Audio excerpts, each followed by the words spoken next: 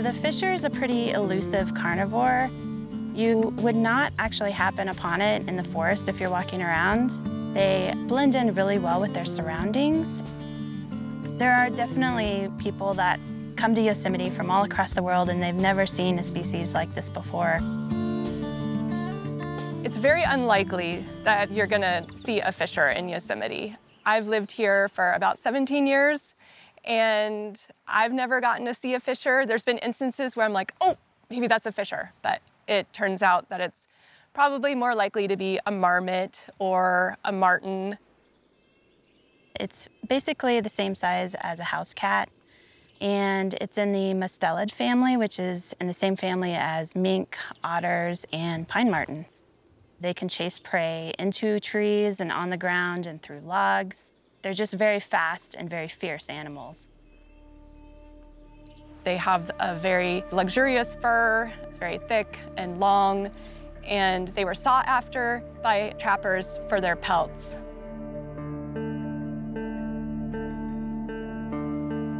The Fisher's historical range actually spans through the Sierras, up into the Cascades, and then across the boreal forests of the United States and Canada over to the East Coast.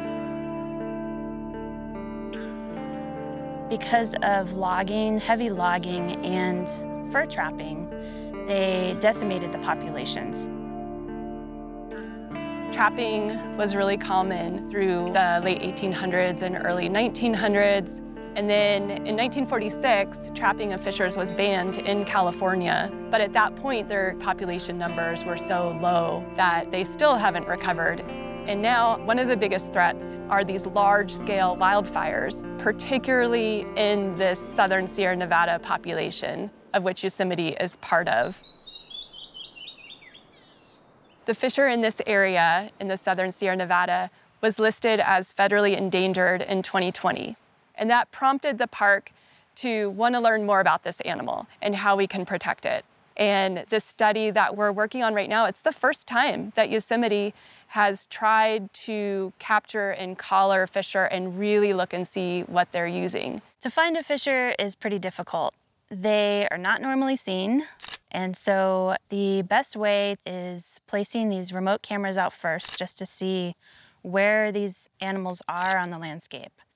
We place these out in areas where we think the fishers might be. We've placed a piece of bait, usually like a raw chicken leg, and it brings in things other than the fisher as well. So we'll have bears visiting, bobcats, mountain lions. We get a lot of different species on the cameras, which is very exciting for us. But when we get a fisher, which is kind of rare sometimes, it's even more exciting.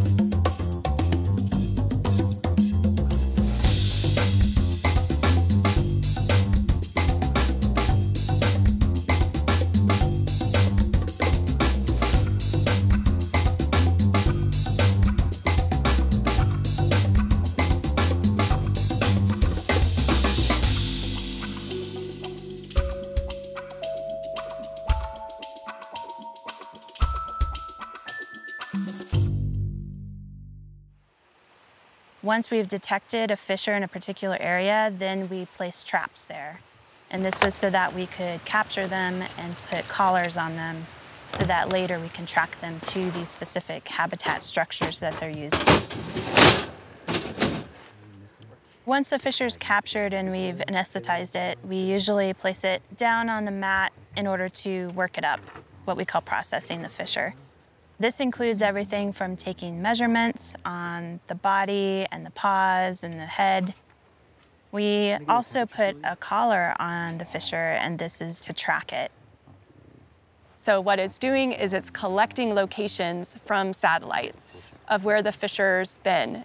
And then we can actually download those locations from the collar remotely. So we don't have to recapture the animal to download the data.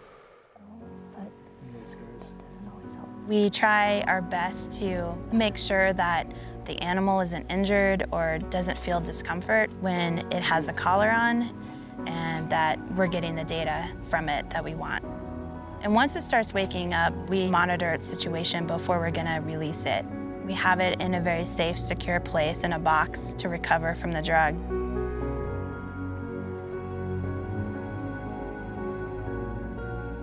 It really is thrilling to see a fisher bound away, take that leap back into their home, wearing this collar, knowing that we're gonna get this incredible window into these animals' lives. So we can learn all of this detailed data about what the fisher needs to survive, to reproduce, to forage, really important information to know for conserving fisher habitat. They're not just going anywhere, they're actually using very specific parts of the forest. Yosemite is really important to fishers, and Sequoia Kings Canyon National Parks also provide critical habitat for fishers. And there are areas in between on Forest Service land and private land that also has really important fisher habitat, particularly because the linkages and the corridors are absolutely critical to sustaining this population. Yosemite does provide quite a bit of protection for the fisher species as well as countless others. We are here to secure habitat for them and make sure that they have a place that they can live and reproduce and survive and interact with other species. Every animal is important to Yosemite. The bears are important, the deer are important, but so are all those animals that we don't even see that escape our notice. And fishers play an absolutely critical role to Yosemite. They're wild, they're untamed, they're special.